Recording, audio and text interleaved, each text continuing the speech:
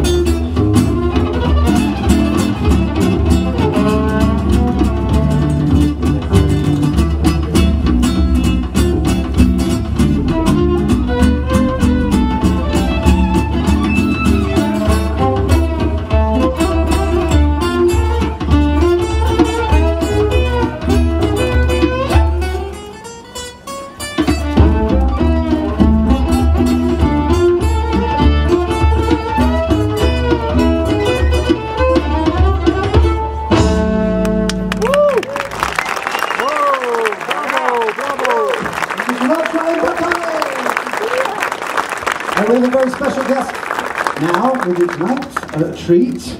Um, this is someone who uh, co-wrote many of the songs on the